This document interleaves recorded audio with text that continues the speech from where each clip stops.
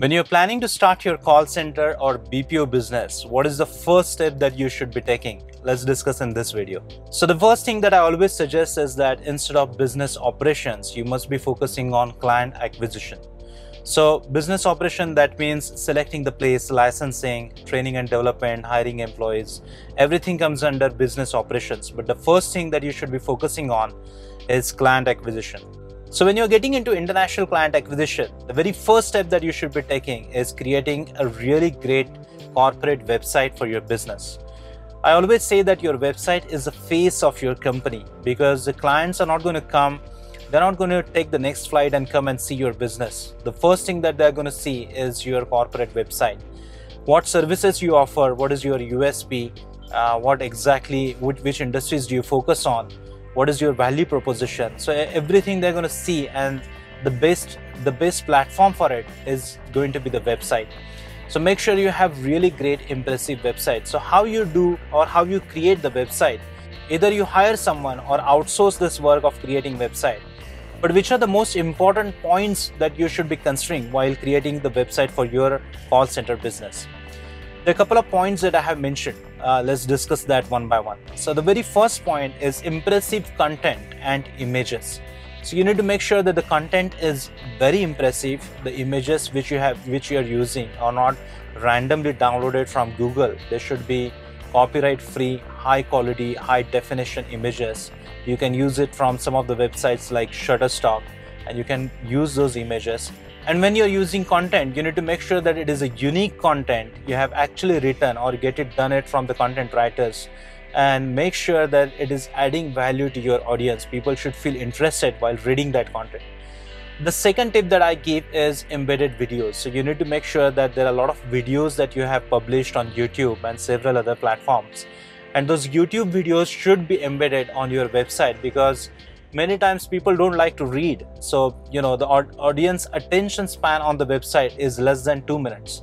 But if you want to keep that audience if they if you want to keep them engaged uh, on your website then you need to make sure that you have some value added videos published on youtube and you are giving them the backlinks on your website so people can watch those videos the third thing that you can consider while creating your website is giving a list of your services with all the information. So when people want to take services, they can select or they can get information which all services you provide. So make sure that you are listing them along with the images or some examples or any videos that you have about your services and then publish it. So you can even have a separate page for your services. The fourth point is about industries. So, which all industries do you cater to? Give some examples if you have any existing clients and give some examples of the client which all industries that you cater to. It could be if you're from call center industry, then it could be a solar industry, finance industry, e-commerce, retail, manufacturing, travel and tourism. There are many industries that uh, you know they are there when it comes to the call center industries. When it comes to call center industries services, so make sure that you are giving all the information about the industries and help those clients. The next point is about USP. USP is unique selling point. So make sure you define USPs of your business, how you exactly stand out in your competition and make sure you update that on your website. So when people they come to your website, they should exactly or clearly come to know that why they should choose your business uh, in your competition. So make sure your USP is clearly defined. The next point is about industry blogs. Yes, they are extremely important. It's not only about the website, but the blogs actually help you to bring a lot of traffic to your website. So make sure that there should be at least one blog post published every single week. So don't ignore them. You know, to exactly search some of the queries from your industries, you can search those queries typed by people on some of the websites like Quora so people type a lot of questions there that you know how call centers can benefit my business uh, what is the pricing for a call center what are the services offered by call centers. There are a lot of questions which are actually shared on quora and you can use those as your topics for the blogs and write those blogs or get it written by someone from professionals and publish it on your website. That will be really helpful the seventh point is about SEO optimization through keywords. So all the information which you're updating, whether it's on the blog or it's on the website, those should be SEO optimized. So the keywords needs to be studied well. If you are studying it on Google, then that you know you can use various tools like Keyword Anywhere, or you can you know actually uh, also use another tool called TubeBuddy. So you will actually get which are the keywords used by your audience for how many times and how much is the competition. So will you get ranking for those keywords or no? And then use those keywords in your information in your website. So it should be SEO optimized keywords. The eighth point is about mobile responsive website.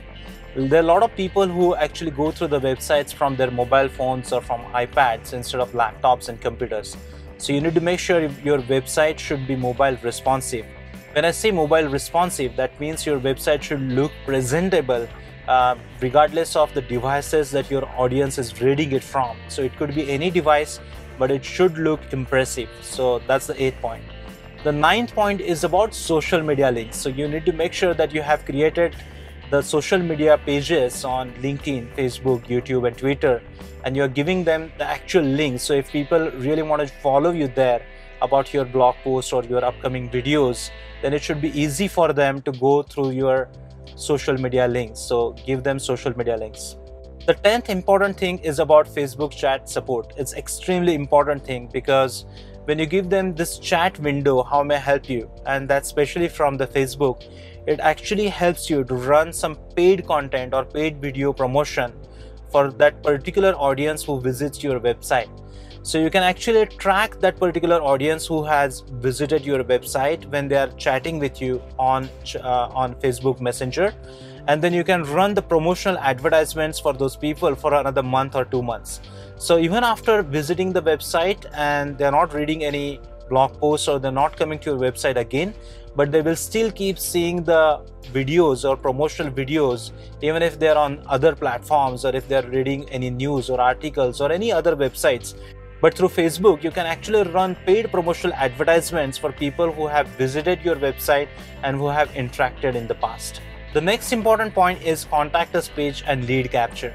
This is another important point because when people they fill the lead capture form or when they leave email addresses, you can sync your website data along with your CRM and then set up email automation. So that's going to help you to target those clients or audience by sending automated emails of your services and information.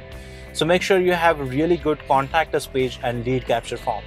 The last point is about Google Analytics. Make sure that you are using Google Analytics and you're linking it your, with your website so you can actually track all the analytics of your audience on Google Analytics, like how many people are visiting your website every month where is the traffic coming from? Who are the exact audiences? What is their liking? What is the history? When they come to your website which which are the most important pages they are visiting or what information they are reading? Is it going to be the services page? So this will give you a lot of insights from google analytics. So make sure you are using google analytics along with your website so these were the 12 most important points when it comes to the corporate website for contact center business or call center business. If you have any questions, make sure you WhatsApp me on plus 91 9511 841 495 or visit my website is www.offshoringconsultant.com.